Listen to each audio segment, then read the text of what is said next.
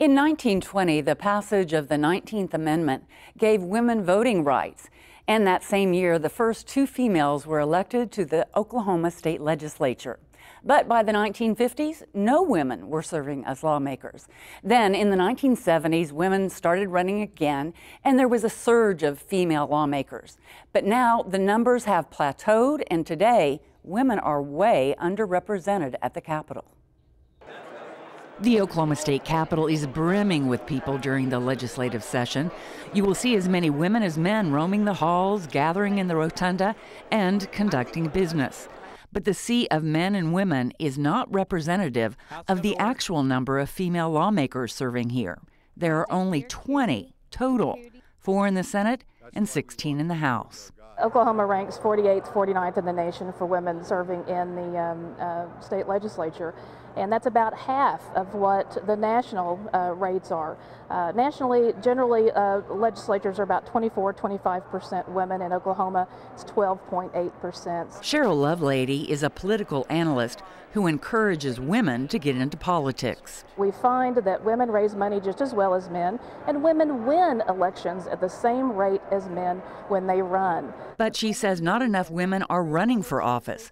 Lovelady believes that's because women need to be recruited, and the men doing that job seek out people like themselves.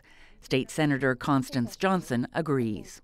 Every time our party goes out and looks for candidates, they're not looking for women because they're men.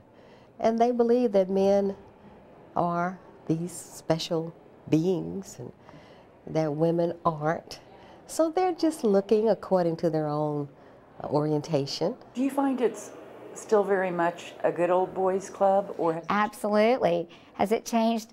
Not really, I don't think, but um, I'm not a good old boy, but I am a runner. And so I found that's been a common denominator because if you're involved in sports, a lot of times that opens up the conversation for you. State Representative Jeannie McDaniel is now in her ninth year in the legislature.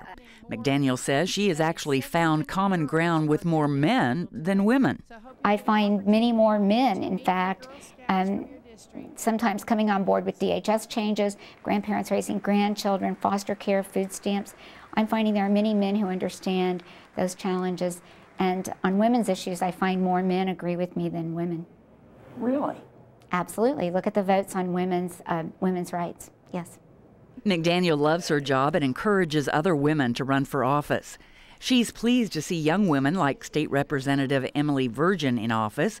Virgin was first elected in 2010, and in only a short time, she has seen the quiet power of women.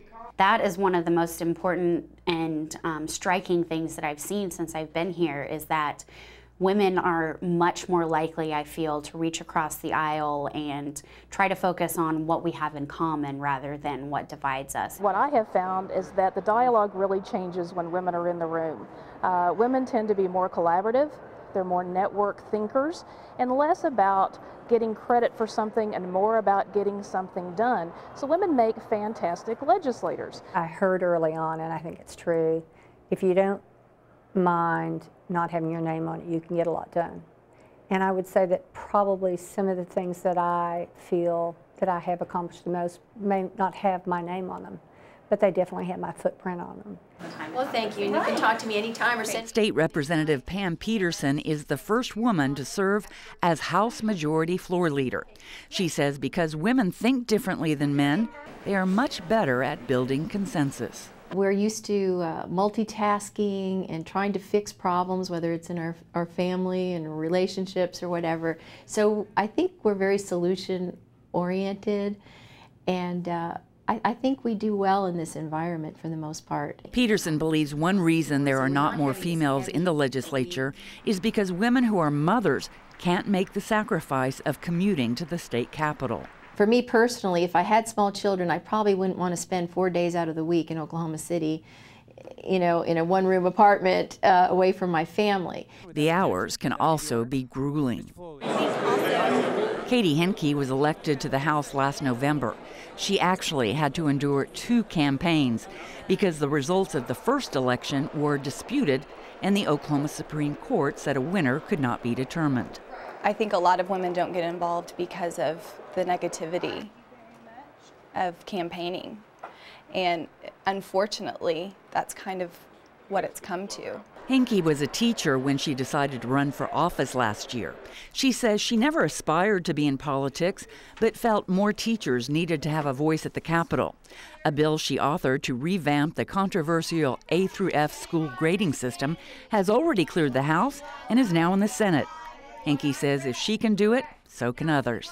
We need to do a better job as Oklahomans and in our districts of encouraging young women to get involved. I think a lot of times um, they just don't really think that they're qualified or that they can do this job, and they absolutely can, and we need them. Henke and Virgin are among the youngest lawmakers at the Capitol. Their elder stateswomen are most encouraging. I think it's going to be these young women in their 20s who are going to step up and make the difference. And I know that that we'll be there when we're in our 70s and 80s saying, yeah, go for it.